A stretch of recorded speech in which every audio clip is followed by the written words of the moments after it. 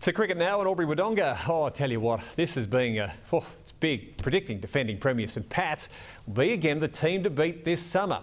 But there are a few dark horses, one or two, as the opening ball of the season is scheduled for tomorrow afternoon. St Pat's knocked off Lavington in last year's final, and they appear to be the teams to beat this season too.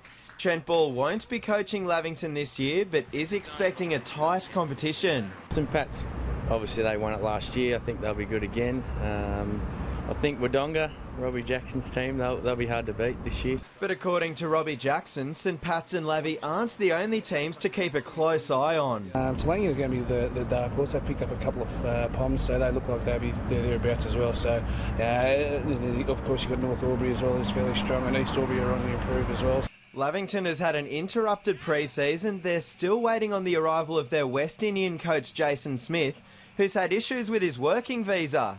We had a couple of blokes with football. Liam Scamble's been overseas, and Jason as well has been waiting on his visa. But um, the other, the ones that are left, we've done enough, and we'll get going. Sort of last couple of weeks, we've cranked it up a bit. Last season, rain marred the first few rounds of the competition, so players are hoping the skies stay clear for the start of this summer. Well, the ground's looking reasonably neat, yeah. So uh, a bit of sunlight from now on in, and uh, the grounds will be uh, in excellent condition for us next week. The season gets going with the first round of the 2020 comp this Saturday before the 50 over format starts next weekend. Philip Pryor, Prime 7 News.